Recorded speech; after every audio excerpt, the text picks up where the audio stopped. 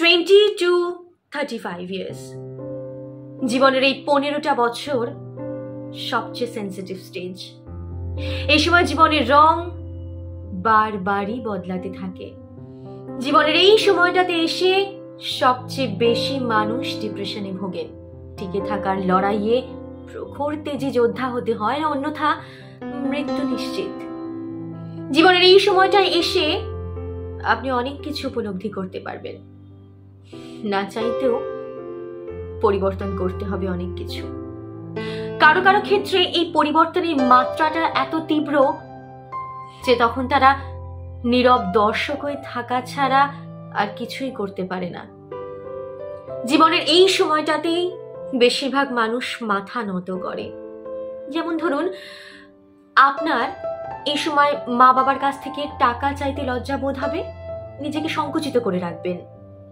আবার ধরুন আপনার চাকরি হচ্ছে না।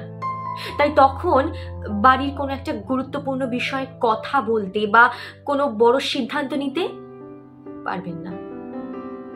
প্রিয়জনকে হারাতে হবে। অনেক কিছু অনিচ্ছাকৃত মেনে নিতে হবে। এই সময়টায় আপনি চাইলেই টুক করে ট্যুরে যেতে পারবেন না। নিজের পছন্দের ক্যামেরাটা দোকানে শোকেসের ভিতর থেকে দেখে নিজেকে তৃপ্ত করতে হবে। চাইলেই পরিবারের সকলের সাথে বসে জমিয়ে আড্ডা দিতে পারবেন না। চাইলেই পছন্দের মানুষকে আঁকড়ে ধরে রাখতে পারবেন না। কারণ আপনার পকেটে যে টাকা নেই নেই একটা ভালো চাকরিও। আপনার ভবিষ্যৎ জীবন যে অনিশ্চিত। কিন্তু যখন আপনার বয়স পঁয়ত্রিশ হবে, আপনার কাছে তখন সব থাকবে। টাকা, পরিবার, সম্মান, সব। মানুষ তো আর সারা জীবন বেকার থাকে না। কোনো না কোনো একটা পথ তখন ঠিকই বের হয়ে যায়। তখন, অথচ তখন সময়ের বড্ড অভাব। আপনি তখন মহা সংসারী মানুষ। তখন ভুলেও যাবেন। আপনার নিজস্ব কিছু চাওয়া পাওয়া ছিল ছিল কিছু স্বপ্ন। সময়কে আঁকড়ে ধরে মহাব্যস্ত আপনিটা তখন বুড়ো হয়ে যাবেন।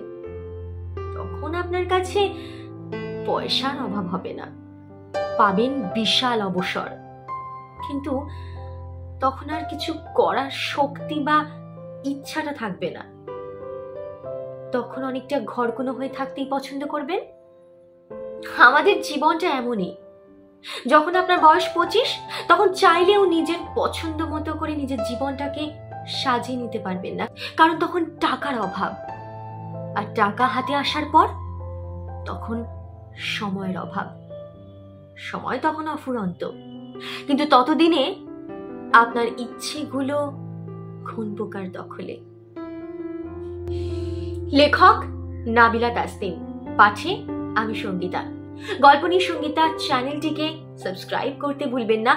আরও এই ধরনের ভিডিওর জন্য। ধন্যবাদ।